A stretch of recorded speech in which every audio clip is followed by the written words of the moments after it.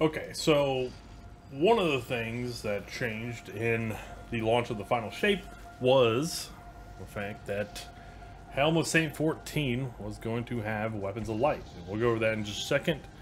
But is there a synergy between Edge of Action, the Titan Exotic Glaive, and Helm of Saint 14? Well, yes, there is. So if you do have friends that say there, there's no synergies, yes, there is, and you should bet them. And kind of the exotic you get from the alternate fire mode or long pressing whatever button is the remote shield trait. When weapon energy is full, consume it before firing to make your next shot. Deploy a protective shield on impact. Passing through the protective shield provides a void over shield and improves weapon damage, reload speed, and handling. And so what does the Helm of Saint 14 do? Well, the armor perk is Starless Night. Targets that enter Ward of Dawn are blinded, while allies that pass through gain a weapon damage boost. Guarding with Sentinel Shield blinds nearby targets. Now, I'm not going to...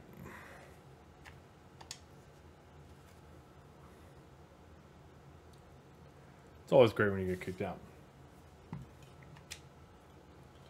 Now, I'm not going to worry about that second part for Sentinel Shield, but here under the patch notes for the final shape, Ward of Dawn, you see, we come down here, under Armor of Light, no longer provides weapons of light by default.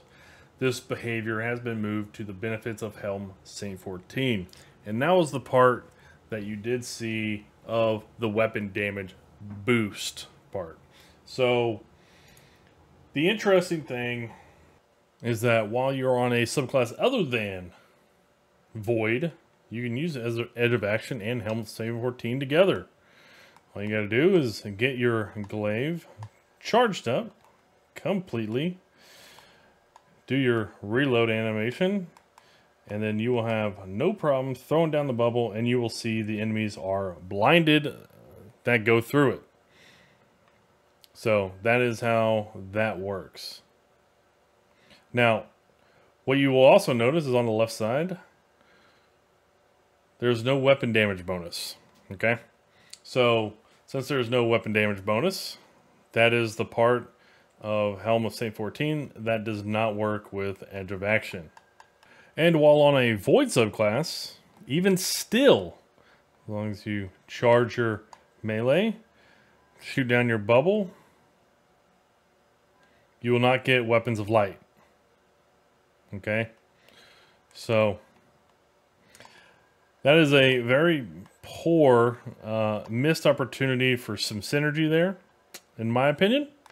And if you do want to have Weapons of Light on your Titan, what you will need to do is actually use it for the main bubble with Helm of Saint 14. So you can see all these are still getting blinded, like as as per the usual, as per normal. But if you throw down your big bubble over top, you will then see weapons of light there on the left side of your screen. So that is how you get your weapons of light. Now, if you leave the bubble, it will start to count down, but as long as you stay inside, it will stay at 15 seconds. So you will have weapons of light until you are no longer in the bubble or until bubble is gone.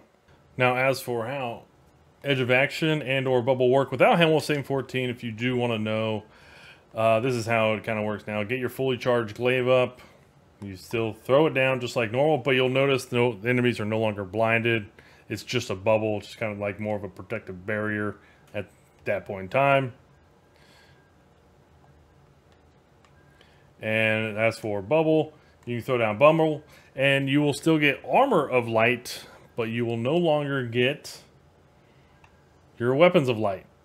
So hopefully that makes it a little bit clearer as what you get with these two or you know just edge of action or bubble but how, how these all kind of work together the interesting thing is i thought this would have been a really good uh, synergy for edge of action and helm saint 14 but they chose not to put those you know to synergize together for whatever reason don't know why that's a pretty poor flaw in my opinion because it takes two exotics at that point in time to be able to get weapons of light on the on the field. Now let's wrap this up by doing some basic damage testing. The base damage without the edge of action bubble or weapons of light is 1637 and if you just throw down the mini bubble as some people call it or the teardrop bubble or the edge of action bubble. It will do damage for 1719 which is an extra 5% and if you use helm of saint 14 along with ward of dawn it will do 2047 which is the 25 percent damage bonus, which is kind of a bummer because now you have to use an exotic armor piece to get weapons of light, which is what it was before the final shape. Just remember to be on Ward of Dawn and Helm of Saint 14.